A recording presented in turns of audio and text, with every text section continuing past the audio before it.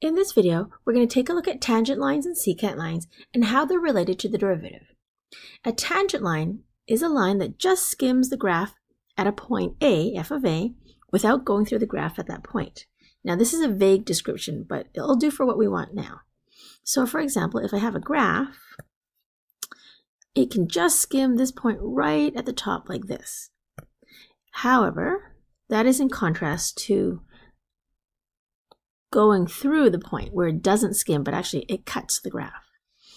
So the problem that we're dealing with is if we are given a function y equals f of x, how do we find the slope of the tangent line to the graph at that one point? So here's the idea. We know how to find the slope between two points. So let's say we have a curve y equals f of x and has the point P, a f of a, and a nearby point Q, x f of x where x does not equal a, then we can find the slope of this line, which is called the secant line. And it'll call it, and we'll call it PQ. So the secant line connects the two points on the graph. So the slope of the secant line, PQ, will then be f of x minus f of a, all divided by x minus a. So that's the equation of our slope. Now, graphically, this is what it looks like. So let's say that we have f of x here. And we have a point P. And it has coordinates A and f of A. And then there's another point Q way over here.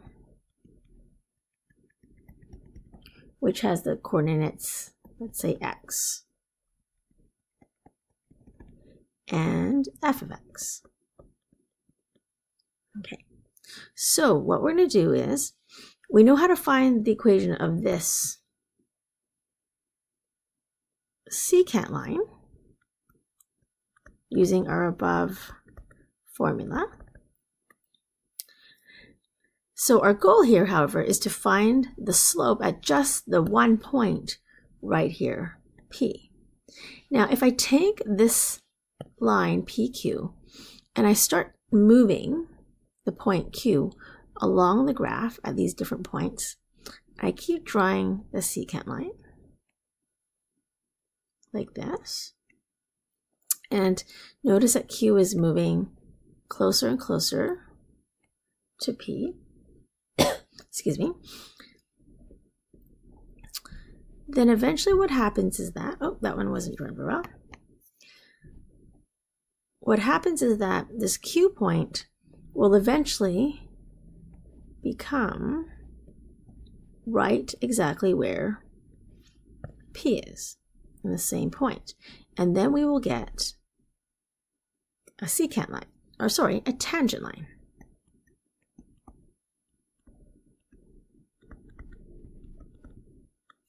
So algebraically, what this means is that this is taking the limit as x approaches a.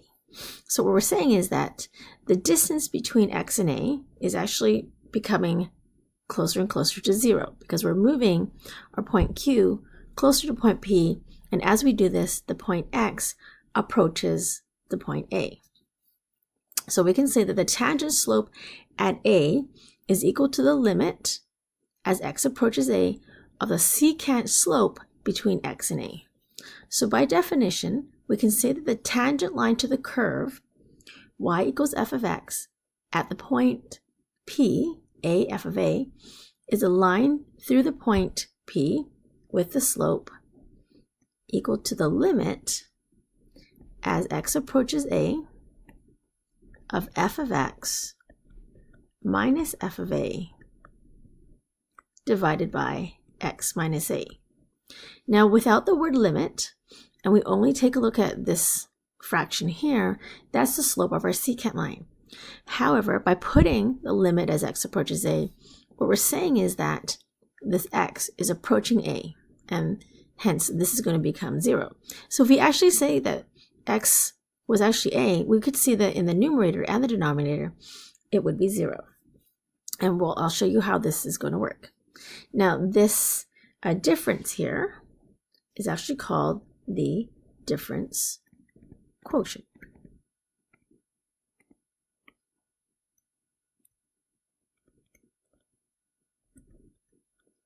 And since the tangent line passes through the point A f of A, we can write the equation of the line by putting in m tan, or the m tangent, which is this formula here. And then we can put our points A and f of A into this point slope form. Now, like I said, when we plug in x as a, we're going to get 0 over 0. So how are we actually going to find the slope of the tangent line if the whole thing is 0 over 0? So let's take a look at an example. So I want to find an equation of the tangent line to f of x equals x squared at the point 3, 9. So according to the above, our slope is equal to the limit as x approaches 3. So this is our x value and this is our y value. So x has to approach the number 3 because we want to know exactly what the slope is at x is 3. And our equation is f of x equal to x squared. So in our numerator, we have x squared minus 3 squared, all divided by x minus 3. So 3 is actually our, it's kind of like our a value, and we're approaching that number. So we can see that this fraction actually can simplify. So in the numerator, we get x minus 3 times x plus 3, all divided by x minus 3. So the x minus 3's can cancel off. And we have the limit as x approaches 3 of x plus 3. And by plugging in 3, we can see that we get 6.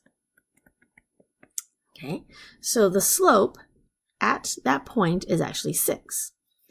And to write my equation, I can put y minus y1 is equal to m, sorry, m times x minus x1 so my point is 3 and 9, and my slope is 6. So I can write this as y minus 9 equals 6 times x minus 3.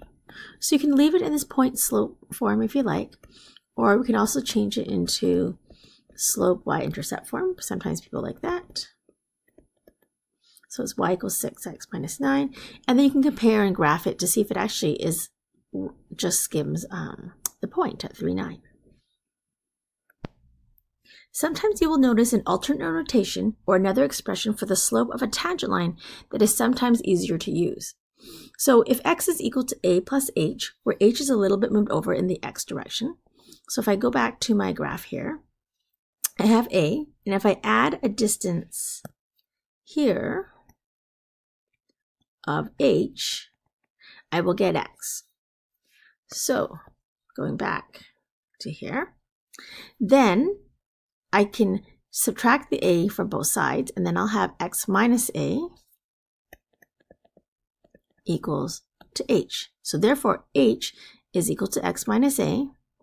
And then if both the left side and the right side approach 0, so h equal to x minus a approaches 0, then the slope is going to be m equal to the limit of f of a plus h, because normally we have x, and then it goes minus f of a, but a we can see is still f of a. And then all of this will be divided by x minus a, but now we can replace it just with h. Now, seeing that this is x minus a approaches 0, because we actually had x approaching a from before. So now we have x minus a approaching 0 if I subtract a. But then we know that x minus a from here is actually equal to h. So for my limit underneath, I can write h is approaching 0.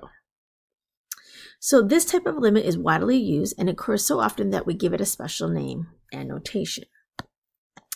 And that is called the derivative.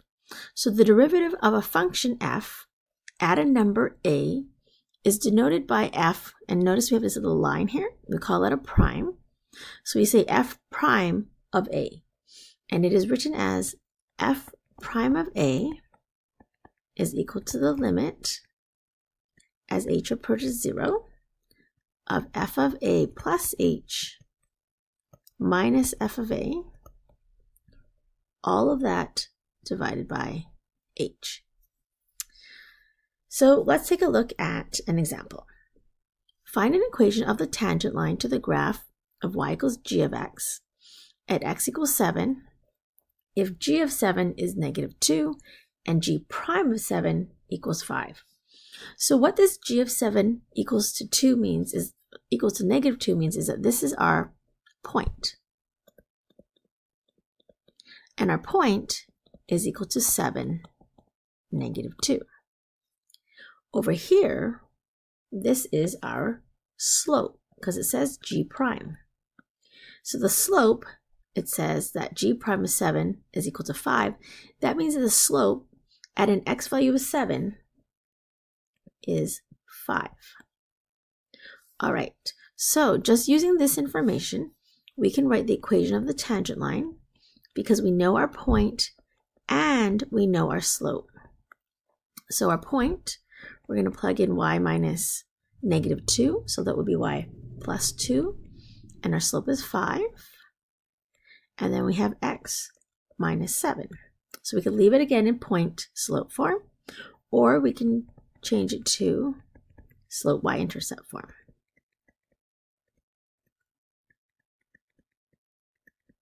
And subtract 2 to get negative 37. All right, let's do another one where this time we actually have to find the slope.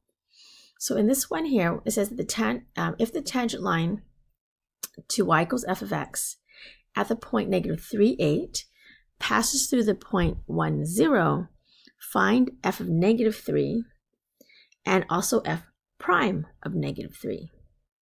Now, we already can see that f of negative 3 according to just this point here, we know that when I have x is negative 3, my y value is 8. So f of negative 3 is 8. Now the slope, if you recall, is y2 minus y1 divided by x2 minus x1. So the slope is y2 minus y1. So here are my two points. So I can go 0 minus 8, all divided by 1 plus 3. So my slope is negative 8 divided by 4, which is negative 2. Now instead of writing this as m, I'm now going to change this. And because I know that this is um, the slope, of negative 3, I'm going to change it to f prime of negative 3.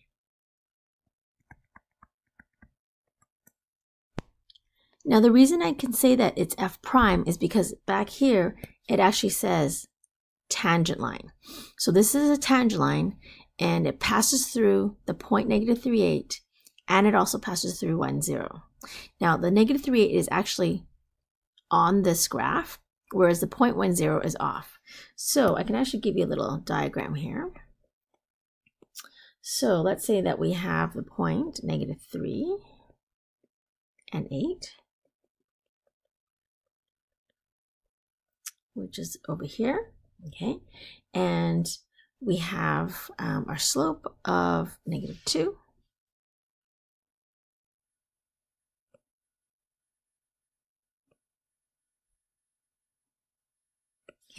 So that means that we have this tangent line and is passing through some graph, which we don't know the equation of, at negative 3, 8. So the graph might look something like this.